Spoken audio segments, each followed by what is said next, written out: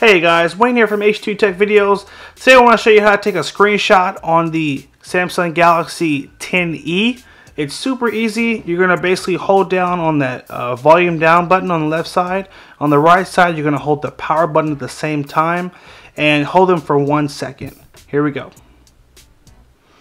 Screenshot, and then you've got some options down here to crop your picture or to share it. And I just took a picture of, again, just the home screen right here. But you can get a picture of just about anything.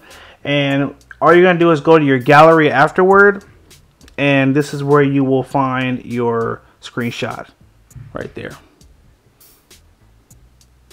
All right. Super easy. Hope you guys found that helpful. Make sure you like, favorite, and share if it was helpful. Hit that subscribe button and leave us a comment down below if there's any other videos you guys want to see. Um, we want to make them for you, so just comment down below any specific videos you want to see on this on this phone, and we'll try to get to it. Thanks again for watching, guys. Take care and have a good one.